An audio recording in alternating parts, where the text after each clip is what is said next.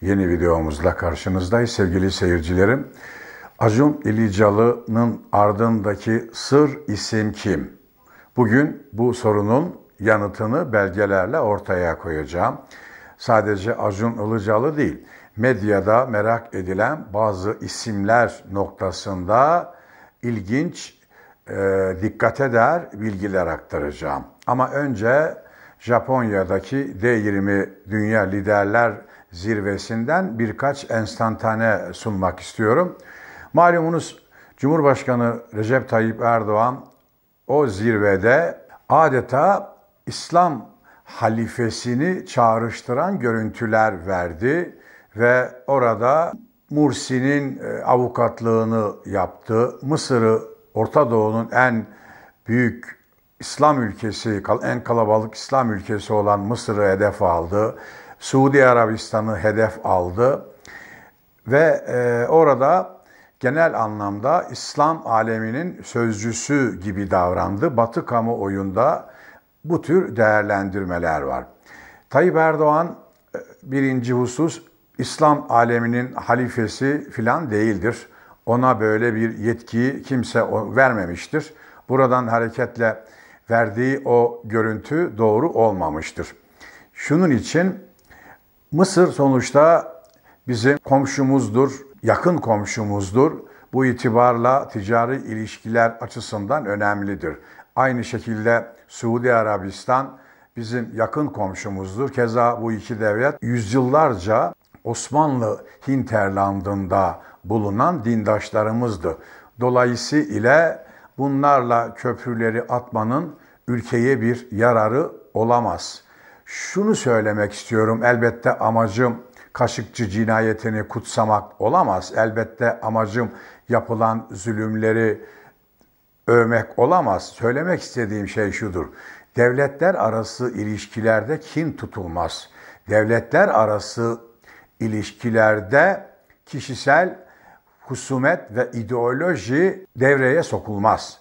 Bu itibarla maalesef üzülerek söylüyorum Sayın Erdoğan'ın verdiği fotoğraflar sanki bunu çağrıştırıyor. Gerek Suudi Arabistan veliahtına gerek Mısır Devlet Başkanı Sisi'ye karşı kan davasını güden bir görüntü var.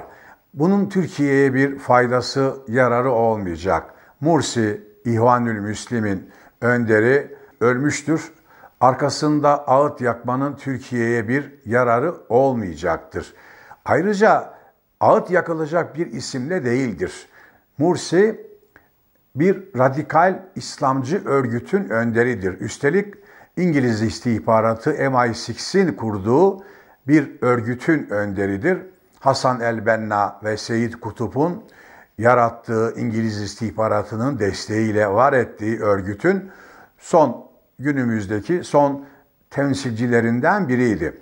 Bu itibarla böyle bir isme sahiplenmenin Türkiye'ye hiçbir yararı olmayacaktır. İslam'a da bir faydası olmayacaktır. Maalesef AKP iktidarı İslam'ı ideoloji yaparak bölge politikalarına bunu uygulamaya çalışıyor ki son örnek Libya'dır. Libya'da da aynı şekilde yine ihvancılık yapılıyor. Libya Genelkurmay Başkanı açıktan Türkiye'yi tehdit edebiliyor. Bunun sorumlusu yine Ankara'nın izlediği politikalardır. Öyle olduğu için de Libya Genelkurmay Başkanı tavır alıyor. Sonuç ortada. Doğu Akdeniz'i bu şekilde kaybettik. Mısır'ı, Libya'yı, Mısır'dan sonra Libya'yı da kaybedersek düşünün Kıbrıslı Rumlar, Yunanistan, İsrail tamamen Akdeniz'de çıkamayacak bir hale gelecek Türkiye. Bu ifade ettiğim gibi tamamen ideolojiye, tamamen İhvanül Müslim'in anlayışına dayalı dış politikanın sonucudur. Birileri Sayın Erdoğan'a, birileri bu iktidara Türkiye'nin layık bir ülke olduğunu hatırlatmalı, İslam dünyasının önderi, lideri olmadığını hatırlatmalı, dahası Tayyip Erdoğan'ın İslam dünyasının halifesi olmadığını hatırlatmalı. Hay ben öyledir demiyorum ama kamuoyunda özellikle Batı kamuoyundaki yorumlar, analizler bu çerçevededir. Bugün aktaracağım bir başka konu başlığı anons ettiğim gibi Acun Ilıcalı ve medyada meçhul bazı isimler olacak. Önce bir şeyin altını çizeyim. Kişisel hiçbir meselemiz yok. Hiç kimseyle e, böyle bir kişisel hesap adına biz yayın yapmayız, program yapmayız, yazı yazmadık, yazmayız. E, sadece var olan siyasi iktidar ile e, oluşturulan medya düzenini açıklığa kavuşturmaktır amacımız. Acun Ilıcalı kimdir? Önce ben size bilgiler aktarayım. Bu delikanlı 26 yaşına geldiğinde kot pantolon satan lise mezunu bir çocuktur. Evet, gazeteci bile değildir. 26 yaşında bir akrabasının vasıtası ile İrfan Şahin isimli tanıdığına Kanal D'de çalışıyor. Ona ulaşıyorlar. Oradan İlker Yasin spordan sorumlu Kanal D'de. İrfan Şahin İlker Yasin'a rıcacı oluyor ve Acun Ilıcalı spor muhabirliğine başlıyor. Beşiktaş muhabiri oluyor. Bir sene muhabirlikte kaldıktan sonra magazin hani televole e, muhabiri oluyor. Televole muhabirliğinde dünyadan görüntüler, tanıma gezi e, programı yapıyor. Dört sene bunu sürdürüyor. Ardından bir e, şirket kurarak prodüksiyon, e, televizyonlara program satmaya başlıyor. 30 küsür yılını medyaya vakfetmiş, hayatı boyunca gazetecilikten başka hiçbir şey yapmamış ve 7 ayrı medya kurumunun 5'inde Ankara temsilciliği yapmış, medya yöneticiliğine ve medyadaki son 40 e, yılın bütün figürlerini çok yakından tanıyan biri olarak söyleyeceğim şey şudur. Acun Ilıcalı'nın e, prodüksiyon şirketi ile biriktirebileceği para, sermaye ancak birkaç milyon dolar olabilir. Bunun ötesinde çok çok çok büyük e, sermaye birikimine ulaşması mümkün değildir. Dikkatinizi çekiyorum. Acun Ilıcalı daha sonra TV8 televizyonunu 70 milyon dolar, kimilerine 60 milyon dolar çünkü açıklanmadı ama 60 ile 70 milyon dolar arası bir para ile satın alıyor. İfade ettiğim gibi 70 milyon dolar bir paranın biriktirilmesi mümkün değil. Dolayısıyla birinci soru şudur. Acun Ilıcalı bu 70 milyon doları nereden bulmuştur? Gelelim ikinci soruya ve can alıcı soruya. Sevgili seyircilerim Mehmet Nazif Günal'dan satın almıştır Acun Ilıcalı. Ben Mehmet Nazif Günal'ı abartmıyorum 30 yıldır Ankara'dan tanıyorum. Hemşehrimdir kendisi. Televizyonculuğa çok meraklıydı. Turizmciydi aynı zamanda. Turizm sektöründe yararlanıyordu. Ne olduysa televizyonculuğu çok sevdiğini biliyordum. Çünkü e, holdingdeki odasında bütün kanalları gösteren ekranları e, karşısına dizmiş, hepsini birden izliyordu. Adeta televizyon genel müdürlerinden, genel yayın müdürlerinden daha iştahlı bir televizyoncu gibiydi. Öyle iken Mehmet Nasif Günal için 10, 20, 50, 100 milyon doların bir önemi yok. Gerçekten varlıklı bir isim. Böyle bir isim ne oldu da bunu hem de fiyatı açıklanmayacak bir şekilde 60 dediler, 70 dediler. Acun Ilıcalı'ya sattı. Bu birinci soru. İkinci soru can alıcı soruya geliyoruz. Acun Ilıcalı yüzde yüzünü 60 milyon dolara satın aldığı bu televizyonun yüzde otuzunu 110 milyon dolara Ferit Şahenk'e satıyor. Çok kısa bir süre sonra aradan yıllar filan geçmiş değil. Yani televizyon büyüdü, değer kazandı. Böyle bir şey söz konusu değil. Ne oldu sorusu gündemdedir. Ben bunu yıllar önce Aydınlık Gazetesi'nde yazdım. Hatta yazımın başlığı şuydu. Acun Ilıcalı'nın arkasında başbakan mı var O zaman Başbakan Tayyip Erdoğan'dı. Sorusunu sordum. Şunun için Ferit Şahenk zaten Star Televizyon'un sahibi. Efendim ilaveten NTV televizyonunun sahibi.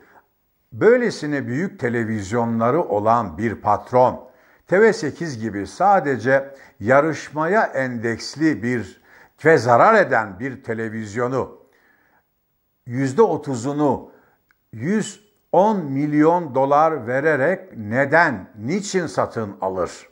Sorusu meşrudur. Yoksa Ferit Şahenk'e birileri sen git Acun'un televizyonuna ortak ol mu demiştir. Soru olarak soruyorum. Sevgili seyircilerim, akıllı bir iş adamı zarar eden bir televizyonu, tamamı 60 milyon dolar satılan bir televizyonun %30'una niye 110 milyon dolar versin? Ki %30 ile televizyonun yayınında etkili de olamıyor. Çoğunluk hissesi değil, azınlık hissesine üstelik zarar ediyor. Neden sorusu gündemdedir. Ve bu itibarla Acun'un arkasında biri mi var sorusu perde gerilerinden hep üflenmiştir. Ben sadece kamuoyunda seslendirilen, gündeme getirilen ama bizim gibiler tarafından gündeme getirilen bir soruyu bu video vesilesiyle aktarıyorum. Sevgili seyircilerim, evet Acun İlicalı'nın ardında kim var? Kim destekliyor onu? Dikkat edin ATV televizyonu kadın programları yapıyor. Kadın programlarında rezillikler olmasına rağmen ATV o programlarda lider olduğu için dokunulamıyor. Çünkü çok etkin e, ATV televizyonu rütüğün üstünde. Aynı şekilde Survivor bizim kültürümüzle alakası yok. Programına Tayyip Erdoğan gibi mukaddesatçı, muhafazakar biri neden, nasıl, niçin olur veriyor, niçin önünü açıyor. Acun Ilıcalı Tayyip Erdoğan'ın sarayına e, destursuz nasıl girebiliyor sorusunu gündeme getiriyorum.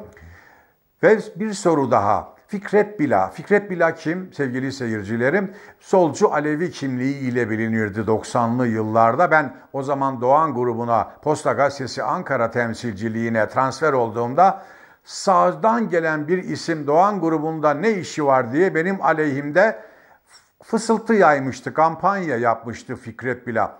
Ama ben 2002'den beri AKP kurulalı beri AKP'ye ödünsüz muhalefet ederken Fikret bile Tayyip Erdoğan'ın uçağında baş misafirdi, baş konuktu. Tayyip Erdoğan'ın egemen olduğu, hükümran olduğu dönemlerde, dediği dedik olduğu dönemlerde Fikret Bila Milliyet'in genel yayın müdürü. Fikret Bila daha sonra Hürriyet'in genel yayın müdürü. Ya bu Fikret Bila Tayyip Erdoğan'ın baş tacı ettiği isim işte bugün Halk TV'de ağırlanıyor. Bunun bir bedeli yok mu? Tam 10 küsür sene Tayyip Erdoğan'ın kayığında olacaksın. Kayıktan indirildin mi, indin mi birdenbire muhalif pozlarında T24'te yazı yazacaksın. Halk TV'de program yapacaksın. Bunu da siz e, seyircilerimin dikkatine sunuyorum ve son bir şey Fatih Çekirge.